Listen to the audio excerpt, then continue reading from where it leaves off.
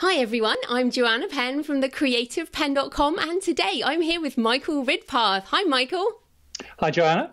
Great to have you on the show. Just a little introduction. Michael is the international best-selling author of 16 novels that range from financial thrillers through Icelandic crime thrillers, historical spy novels, and most recently Amnesia, which incorporates aspects of thriller, crime, and history. So all in one, which sounds uh, very cool, Michael. That's you. That's your most recent one, isn't it?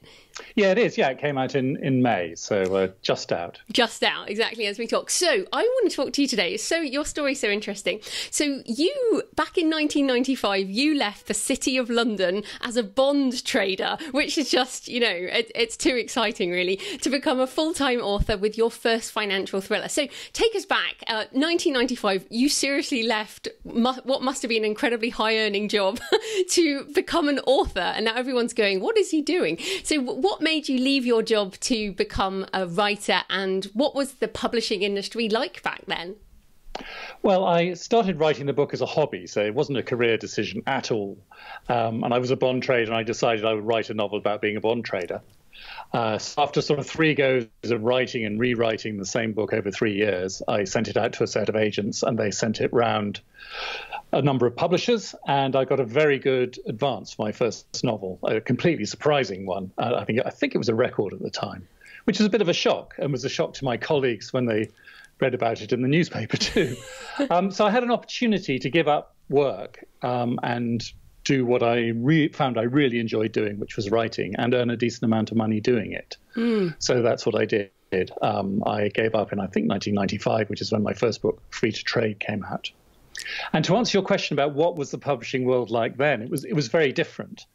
It was very hard to get into, but once you were in, and I was very lucky, and you were published by a big publisher, then you could earn a, a serious amount of money because what was called the net book agreement was still around, which meant that books were still full priced in this country and importantly in other countries as well, including America. So um, there was a lot more money to go around. There was a lot more profit in the in the system, and the author had a lot more power. So if you were fortunate to be have a good publisher and be writing in a fashionable genre, then, then you could make make very good money.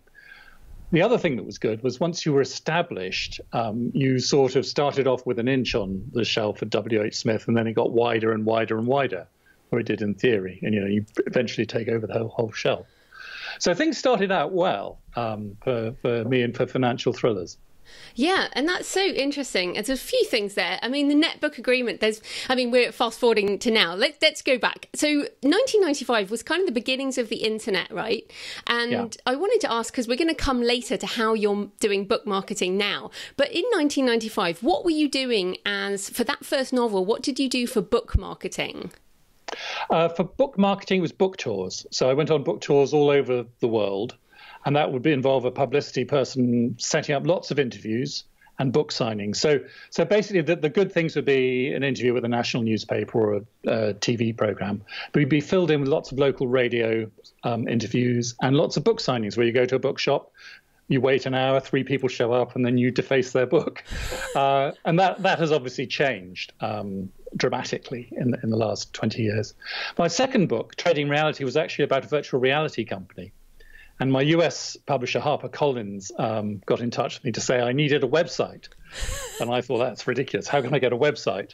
But they said, you know, all high tech authors in the States had a website. So I made up my own website on CompuServe. And I think it was, you know, one of the first UK authors to do it, uh, which was interesting. Wow, that's so cool. And of course, VR back in the late 90s, I guess it was, uh, is very, you know, it seems funny because then it all disappeared, didn't it? And that was meant to be VR and then it all disappeared yeah. and now it's all coming back again.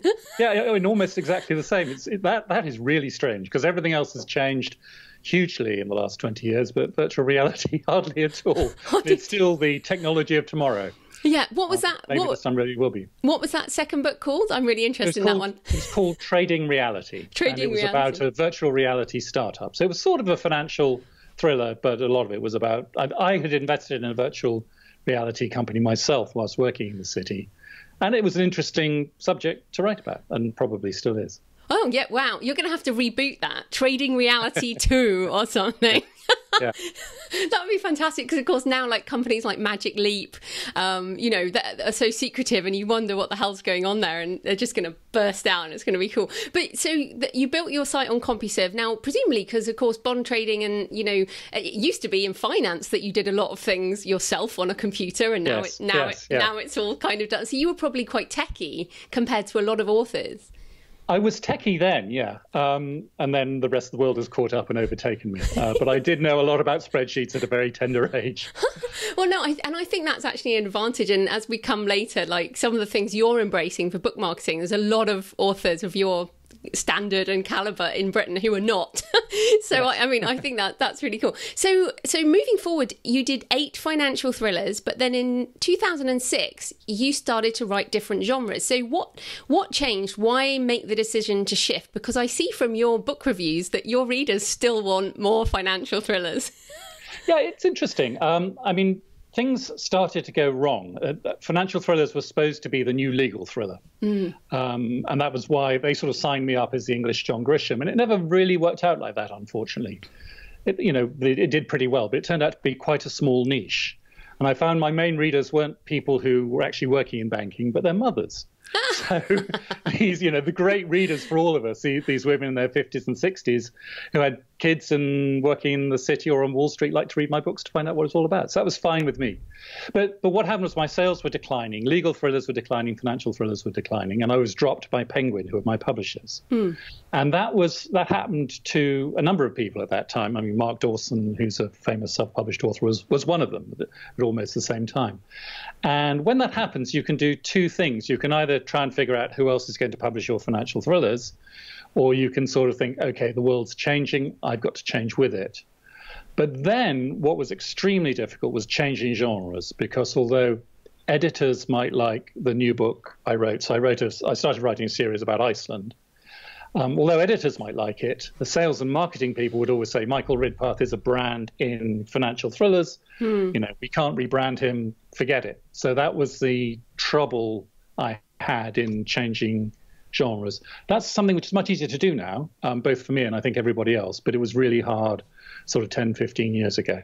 Mm, that's really interesting. So, what was the? Because of course, a lot of this does happen to a lot of people. This is not unusual. I mean, you know, many authors think, "Oh, I've got a book deal. That's it. You know, I'm going to stay with yeah. the same publisher, the same agent, the same everything." Um, do you, in fact, do you know any authors who've been in the game 20 years who have the same agent, the same publisher, like, and getting the same money?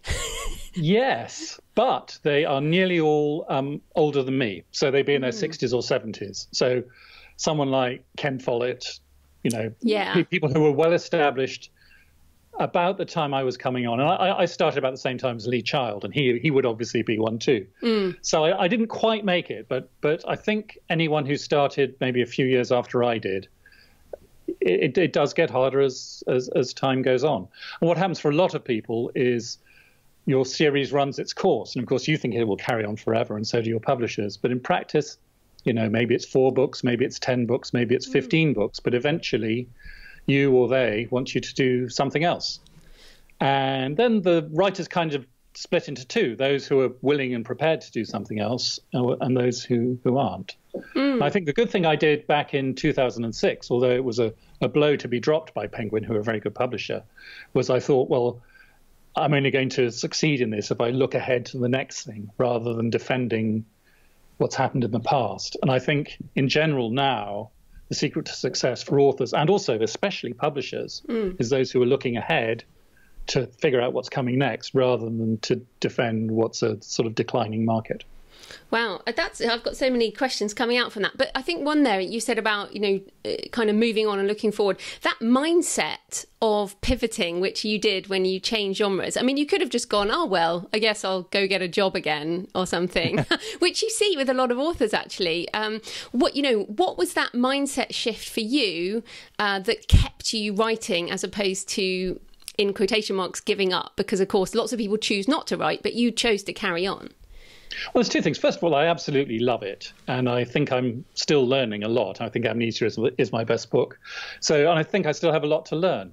Um, so I wanted to carry on doing that. Also, I quite like the challenge of uh, I mean, the financial thriller world is a very niche one. I was like a big fish or a medium-sized fish in an extremely small pool. Mm. I quite like the idea of, of sort of taking on the big boys and girls and in um, you know writing in a, in a broader genre. So crime, crime or thrillers, both of which I did, uh, seemed seemed a bit more of a challenge. And I, I think you start off writing about what you know, which is probably a good thing to do, but after you've written several books about what you know, you quite like the idea of writing about what you don't know.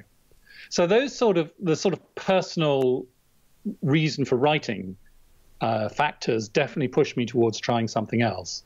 And then there's a sort of commercial thing, which usually it's best if you can make the commercial dovetail in what you want to do, because then you do it better and more profitably. So that's what I did, I think. That that's great, and yeah, I totally agree with that. And the, the second thing I, I had here is um, you mentioned when the series has run its course, and that's actually a really good comment. Now, and what's funny right now is Game of Thrones. So you know, Game of Thrones TV series is awesome, has now overtaken the books, and like the series really, even though people want more, it feels like it's run its course. So how did you? And I feel this with one of my series, and so how do you know when a series has run its course in terms of your own sense, rather than just it's not making so much money? I suspect. I mean, it's beginning to happen with my financial thrillers when planning the next book seems a little bit of a chore because you're reworking previous themes. So in my Magnus books, which are about Iceland, I get really excited when I go back to Iceland because you know I love the country and I've got more to write about. Maybe eventually I'll sort of think, well, Magnus has done this before, but he should probably do it again because I need to come up with a book. Mm. So I, I, mean, I never, I have never really got to that point myself. It was my publisher who thought the financial thrillers had run out of steam, but I think that I think that's what it is. Mm. Um, what I did find is uh, writing. If you can switch from writing a series book to writing either a standalone or another series, that sort of refreshes you. So coming back to the familiar security of a series is a good thing rather than, oh my God, I've got to write another, the same book yet again. So I think that's, from a creative point of view, that's a good thing to do. So do one or two books in a series, then switch, and then go back to it. And mm. I think that will give it more legs. I don't know. We'll see. Yeah, I agree. I feel that way. That's how how I'm kind of doing it. But what's funny is my standalones just don't sell as well because you know they don't have a built-in market. Yes. Yes. so then you're like, yeah. oh well, I should just go back and do another one of those. And but no, but it's in, it is a very interesting um, sort of balance. Uh, but something else you said, um, your publisher had said something like Michael Ridpath is a brand, and yes. uh, I've got in Britain. I don't. This is not just Brit- a British thing, but right now, a whole load of people that you and I know are using different names to like relaunch as a debut. Um, or I saw on your Twitter stream, you know, maybe maybe I should be Michelle because uh, women, you know men are using women's names, and and I'm used JF Penn because having a female name sold worse in action adventure. So, um, what what do you think is going on with is it just because the publishing industry can only make money from debuts or big names? Or you know what is it this is is this just marketing? Well my own experience which i, I suppose is 10 years ago when i was making the switch i had the problem with um, uh, I, I, started off with the spy, the spy novels actually and they were turned down because of my name. So then i wrote the icelandic novels and submitted those under a pseudonym but then so they got through the sales and marketing thing but when the editor found out who i was he said oh that's great. You know let's go ahead with it. So then i switched back to my own name and then i did the same thing again for the spy novels which has failed first time. I sent it all out again under a pseudonym and that got published again. So in my case the problem was this brand thing as far as publishers were concerned. Mm. i have a feeling though it's very different for self-published authors because the whole point about self-publishing is everything you do is cumulative. Every reader you've got who likes your books might buy another one. And once you start changing your name, you're losing all your old readers. So I think I would stick. I mean, you know, obviously more about self-publishing than I do, but I think I would stick with the brand once you've got it, and then try and build on it. And you'll take some of your readers with you, and some not. But but changing, I mean, throwing away all your old readers if you've got quite a few, is probably not a good idea unless you absolutely have to. Yeah, it feels to me like the sort of, well, let's just try and do another Girl on the Train, you know, because Paula Hawkins, that was a new name for an existing yeah. author. And it's like, yeah. oh, well, let's have another go at a debut. Um, but you're right. And another reason for self publishers is the Amazon algorithms and, you know, iTunes and all of that, um, iBooks all run on machine learning. And if you have a brand name already, there's people who've bought your books, they're going to actually recommend your books to those people. Yes. So I just think it's crazy. But and I'm just kind of but gobsmacked. In the publishing world, in the publishing world, it works the other way because as mm. soon as the other thing that happened in the late 1990s was booksellers would look at BookScan. So if you were coming up with a book, they would look at your name and then they'd look at your previous sales, mm. and that would be the main reason for whether they ordered your books again. Uh, Penguin had a warehouse problem in the early 2000s, which meant my sales and my backlist fell to almost zero, and then that meant very few people were were reordering. Of course, you don't get that in the self-publishing world. People don't care too much what the sales of your previous book were if they're a reader mm. trying to buy it. You know, if they've read it before, that's great, or if someone else has recommended it, that's great. So, so that great um, hindrance has has gone. Um, I mean, it's interesting now there are obviously there are a lot of people making a lot of money in the self-publishing world, but in the published world, there are lots of debut authors who are making six figures with their first book in a way that mm. I never could, um, because of this phenomenon of of having um, having a new name. But, but then, you know, but then they seem to be the second book they don't, and then by the third book they're dropped, and then the fourth book they're told to use another name again. yeah, that can happen. I mean, it's it, yeah, anything can happen. it's kind of I know I know a few people right now who this is happening to, and I'm just I'm kind of just gobsmacked about it. And then I can see why because as you said, like your name was associated with a certain genre, so that's what readers think. I don't know. I I'm almost want to say that readers are more intelligent, not intelligent now, but are used to a broader range of of things happening. Maybe. Yeah, it's interesting actually. When I talk to my publisher about a standalone um, a couple of years ago, I was worried they'd say no, but actually they were very keen, mm. uh, which is a definite change from 10 years ago. So I think publishers are more, uh, my publisher, Atlantic, is, is, I think, quite sort of forward looking. I think they're more savvy than they used to be about being, you know, authors being locked in, in one particular brand. Mm, that's interesting. Right. So, kind of, you know, moving up to today with your publishing choices, and kind of part of the reason I invited you on the show is that you um, you're embracing the hybrid model now. So, maybe talk about what's happening now with how you're publishing and why you've chosen these things. Well, it's interesting. The, um, there is still, I think, a huge divide between self-published and traditionally published authors, and a lot of traditionally published authors don't ignore self-published authors, and some self-published authors kind of slag off traditional publishers as being unimaginative. And, you know, all that's sort of partly true. But it seemed to me that self published authors were doing a lot of things that were working. And I remember when I first met you, I thought, you know, that sounds interesting. And the more I found out about it, the more interested I came, and, and as did my agent. Hmm. Um, so it seems that a lot of my books are sold on Kindle because the kind of commercial fiction I buy, I, I, I write is going to be bought on Kindle either traditionally or or self-published. Uh, my I had always been published badly in America for no really good reason. Mm. so it seemed to me that since I got a British publisher, I'm very happy with, and not really any good American publishers, uh, then there was an opportunity to try and do both. Mm. And so my plan is to try and publish, self-publish in America, and be traditionally published in Britain, and then hopefully get books translated everywhere else um, through traditional publishers. Mm. Whether that will work, I don't know. Um, I mean, what I found is that my, my financial thrillers are all self-published now. They they uh, I, the rights reverted to me, and from sales declining to nothing um, in the last two or three years, I've got them up to a reasonably good figure for books that mm. are at least ten years old. But they do tend to do better in the UK than the US. So I haven't quite worked out how to break into the US properly um, through self-publishing, but you know, there's plenty to learn and plenty of time to do it. Yeah, exactly, and I think that's it. And it's great you've got the rights back. Um, one little tip: box sets. right. Yeah. I tried one of those, and it, it was um, it really didn't work. I oh, tried okay. a box set of financial thrillers.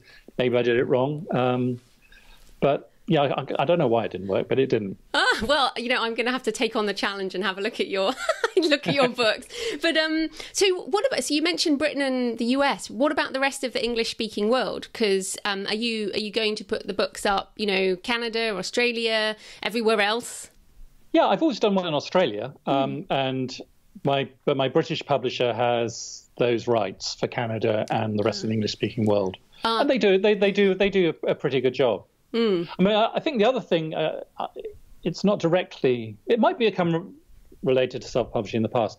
I always made most of my money through foreign translations. Hmm. So through the financial thrillers, I probably made over half my money from foreign translations.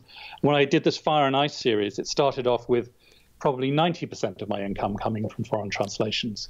So, and then that trailed off in the last few years. So my, you know, the the real blow I've had in the last five years or since the crash has been the lack of foreign translations. But I think that although it's less of an opportunity it used to be mm. for English speaking authors, I think it is an opportunity. And I know you've been doing some work on how to get books translated in the self published world. But it seems to me that an international writer writing international books should be making at least half of his or her income from translations one way or another.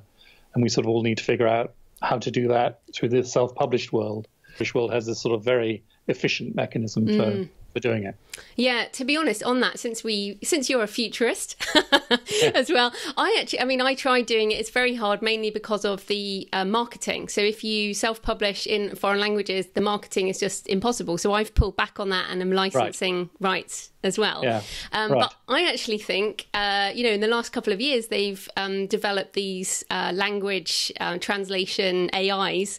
I think that the, I think this is going to be a massive disruption in the translation market. I think we right. won't need translation within I don't know, five to 10 years with universal oh. translation. Yeah, you'll be able to read on the Kindle and just pick up a book in Mandarin or whatever and read it in English. Or you and I can be talking, you know, you, there's already one on Skype. You can talk right. in yeah. different languages. Yeah. So, so I think there's a disruption coming there, which is crazy. Yeah, who knows? Yeah. But you heard yeah. it here first. Yeah.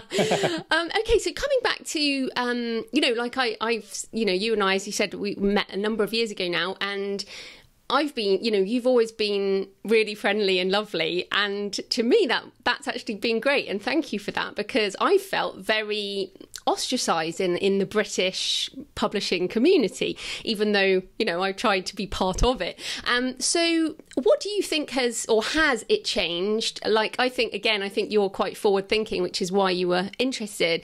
But do you think it had the attitude has changed or is changing, or is it swinging the other way almost? I think it's changing very slowly and too slowly. Um, I think there are many traditionally published writers who don't want to think about self publishing. Some of them are defensive. Somehow there is still this idea that self publishing is vanity publishing, which is at least 10 years out of date. Um, it's, it's, it's weird. Um, and I suppose that for me, I think it's an opportunity for a traditionally published author because I have a whole backlist of books which a lot of people already have read, and, and that gives them some sort of social proof that some self-published writers don't have. So I, I have that advantage, and if most traditional publisher, traditional um, writers, published writers, aren't doing that, then then I suppose I have an advantage over them. But it, it, it is a weird sort of short-sightedness. Some of it's defensiveness. Um, mm a lot of it is just people are more interested in writing books and thinking about marketing them, which is a, something I respect.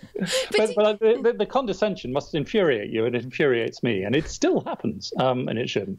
Yeah, well, I think what what's infuriating is that people are uh, in public quite negative, and then behind the scenes you get an email that says, "Hey, can you help me with this?" right, right, yeah. Uh, which I think is starting. But, to... there is a mirror thing from some self-published quarters as well, where they, hmm. you know, a lot of thing about how all publishers are idiots, Mm. Um, I mean, it's mostly aimed at publishers rather than traditionally published writers, but mm. uh, you know, publishers are extremely intelligent people who love books and read lots of books. Mm. Um, publishing world is a difficult one, and I think it, it's much less of a problem from self-published writers. But I think some of them are t- too dismissive of traditional publishing, you know, dead dead tree publishing, all that sort of thing. I mean, there's a lot that that both sides can learn from each other. And that's really what I'm trying to do is try and get in the middle so I can figure out what works either way. Yeah, and I I think you're totally right. I mean, I certainly don't. I, you know, I would take a book deal if it was better than what I could do. But coming back on the marketing, because like you said, people just want to write; they don't want to do marketing. But isn't it the truth that you have to do marketing now as an author, even if you're traditionally published? Or like you said, back in the day, you went on book tours. Um, you know, now with a publishing deal, you're expected to do podcasts and blog tours and yes. all this other stuff, aren't you? There's no is anyone just writing? Probably not. I mean, no, everyone has to do something. And I think this is another misapprehension traditionally published writers have.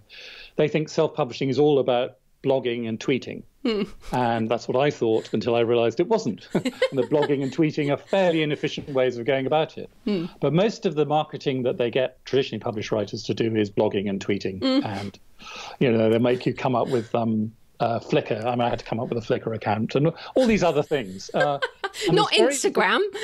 yeah, I'm not on Instagram yet. They haven't told me to do that yet, but I'll do it if they tell me.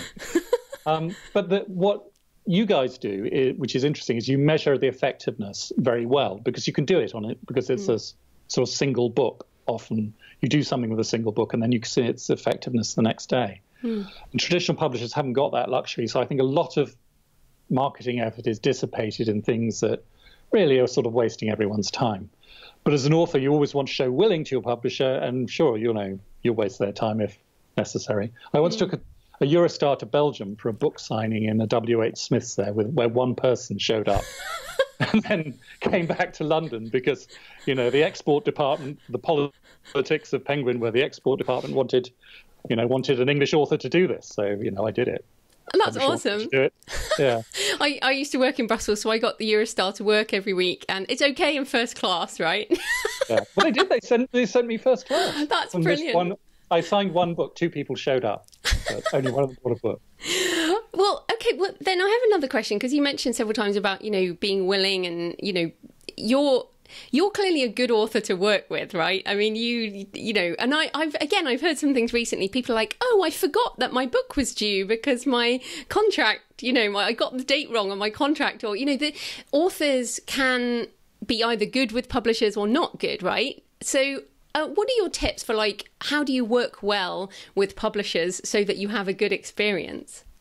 With publishers, uh, mm. I hmm. think a lot of it is managing expectations. The big expectation is the contract. Mm. So um, it takes me 15 months to write a book, not 12 months, but 15 months. I mean, different people are different. I'm not saying that's the right way to do it, mm. but I will always ensure that I have 18 months in my contract to write the book. Mm. And I will negotiate that difficulty at the outset of the contract rather than in 12 months when the book's late. So, so that that's a, a, whatever, however long it takes you to write a book, make sure you've got enough time to do it. And publishers will, you know, if if you can explain that's how you write the best book, they'll be fine with it. If, mm. however, you miss the deadline, they won't. I think being generally professionally reliable is is good. Authors have a reputation for being difficult, mm. um, and that's because it is a highly emotional business. And I often feel like being extremely difficult. but I think if you can be just friendly and helpful and reliable and positive, then that helps everyone who's working with you try and sell your book. So it's a it's a good thing to do. Hmm. And so, since you're, because I talk a lot about intellectual property assets on this show, and we try and keep that in mind that this is not a book that you are just selling. This is, you know, an, an asset. Do you, do you think you have that different attitude because of your financial background? Like, you know, that you understand that side of the business? Like you mentioned contracts straight away, which, to be fair, most authors don't. Yes. Um, I, I suppose so. Actually, I would. I would say that the book business is a lot better than the financial business because the most important way to make people work together is trust mm. and keeping your word. And in the book business, unlike the film business, but in the book business, almost everyone is trustworthy, almost most of the time, mm. certainly compared to the financial world I come from. So I've actually really enjoyed developing relationships in the book world and developing trust and working with an editor who isn't going to you know screw you over and unless they're really told to. Um, and I think that I think that's um, so. I think in many ways the book world is a better business world than the financial world.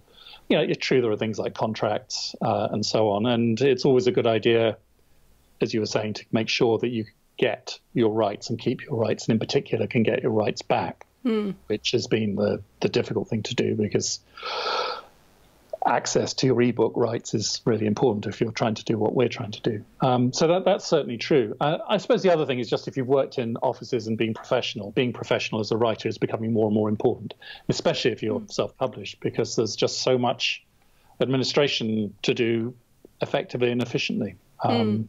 I, one thing I noticed was I don't know if this is still true, but a year or two ago, a lot of the most successful self published writers had worked in internet marketing of some kind or other, or in marketing of some kind or other. And I can see why, you know, those skills are important. Mm. Yeah, so so coming on to marketing then, because I, you know, I went and had a look at your website and you know your list building, which is awesome. Which again, most traditionally published authors don't do list building. Um, Amnesia was on newinbooks.com, which is the same company who do Freebooksy, bargain booksy. So great, uh, you know, they have an email list. So you're you're embracing these newer forms of book marketing. So you know, how do you feel about the way things are now? And, you know, what are the tactics that you feel are working for you, or even the things that you actually kind of enjoy? when I thought about it, I thought there were three, I, I, needed to focus. And I think you need to focus. That's the first mm. thing. So I decided to spend 25% of my time focusing on three things, which would be uh, book marketing companies like BookBub, um, advertising, especially Facebook advertising, and list building. And so I spent a lot of time on all of that. And I think the the book marketing companies have worked. Um, Facebook advertising hasn't worked, even though I spent huge amounts of time. And I think the email email list clearly will work. I think I spent some time advertising giveaways, hmm. which probably wasn't cost effective. Uh, so, and obviously you don't know how much of stuff, even if something isn't working directly. You know, my financial thriller sales are steadily going up. So something's going right. So you don't know what the, the general brand awareness is by, by what you do. But I think it's important to sort of try and figure out what's working and, and then focus on that. One thing I do think, though, if I was doing everything I am doing now two years ago, I'm sure you know my sales would be much better. But that's because there were very few people who were smart enough to be doing all that then, and I wasn't one of them. So now I get the impression that there are lots of people mm. all trying to do the same thing. And as a result, there's a certain crowding out. So Facebook, just the cost of Facebook advertising goes up because mm. more people are trying to do it. I get the impression there are more people with mailing lists, which means more more readers are getting many more free books, which they're not necessarily reading. So I think it's making it difficult for all of us in those three areas. Mm. You know, maybe there's maybe Amazon advertising will will work. I I'm sort of about break even with that. I haven't quite got that cracked. Um, uh, and I, I, find actually just a straightforward Kindle promotion works pretty well. Hmm. So I, I, haven't, I, haven't, actually cracked. I haven't cracked this yet. Um, you know, it, it's uh, my sort of sales have doubled every year for the last three years, but I, there's a lot more I could do, I think. Um, and I spend a lot of time working on things which haven't quite worked. So I'm certainly not giving up, but. Mm you know you need to figure out what's going to happen next. Well okay let's let's be kind to ourselves because the publishing industry hasn't figured this out either. So so i think we can all relax a bit. But um, it's interesting with facebook advertising i agree with you um, but in fact the probably the most powerful thing you can do with Facebook advertising is once you have an email list. So, because right. then you can upload your list and you can advertise to your list, but also a lookalike list, and that's actually a much faster way to build. So, I, you know, I think that you might, and it's much much cheaper rather than say trying to go after James Patterson or Lee Child. Yeah, when, yeah. yeah every, all, everyone who follows Mark Dawson now advertises to Lee Child. right. but I, I, tried, I tried, I tried a lookalike list, and, mm. and that didn't work. But I think it was because it was mostly based on the people I'd signed up from the original list. If you see what I ah, mean. yes. So lookalike. So if you if you sign up a list based on people who like Lee Child, yeah, and then you draw up a lookalike list based on that, yeah, it doesn't work quite as well as it should. Um, I don't know. Yeah, no, I, I totally agree with you, and and it's so interesting because the fact is this is all changing. I mean, like like you said, and uh, what's going to happen in two years' time is is going to be completely different. But as you said about email lists, the only thing that won't change probably is email. It's pretty standard. I mean, it has been for a long, long time. So I'm hoping that will stick around. but I yeah, mean, I can... you know, it's great. book BookBub. I just got a book BookBub, but it was like, whoa, that's expensive. well, BookBub, I used to get two, two, years when I started this. I would get a BookBub every other time I tried mm. because I, I, had this, you know, backlist of books that had all sorts of quotes from big newspapers. So I, I stopped doing it for a bit. Then I started expecting I get, you know, BookBubs all the time. I haven't had one for nine mm. months. Wow. And I think that's because big publishers Mm-hmm. are now using BookBub. So there are loads of people who are being traditionally published, not just me. So that's an example of how, how things have changed. But you know, um, I did a very good thing with Bargain Booksy, which worked remarkably well. I was surprised how well it worked. So there are other things you you can do. Mm. Oh, and as you say, if you can if you can build your readers, um, if you can if you can get the genuine readers who really like your books and want to buy every book to somehow get on your mailing list, then that's the core of what should work over the long run. Yeah. And that I need to probably focus on on more. Yeah, and it's so it must be so frustrating, you know, having had, you know, such massive earlier success Well, all those people should have been on your email list from like you should yeah. have an email list for 20, 20 years basically. One of the things I've tried was was to get publishers to put in a proper email list mm. and they wouldn't do it. I mean, this was many years ago I tried this. And that that's that's kind of idiotic and I, I think they still don't really do it properly. No, they don't. Um, um, which is great because once they start doing that properly, yeah, then everyone then who buys lots of books, well, yeah, there'll be too many emails around, so we don't want that to happen. no, and it's and then uh, you know just coming back to the brand thing because this was the other thing I was thinking about as a reader. I'm sure you're the same. Like there are only a handful of authors that you buy every every book, right? Yeah. So yeah. and you buy and you don't really even question that, and that take that kind of loyalty takes time to build up. Yeah. So, and that's when I looked at your reviews. It was really interesting because there are clearly people who've been following you, who were writing reviews on Amnesia, for example, who who've been following you for for twenty years.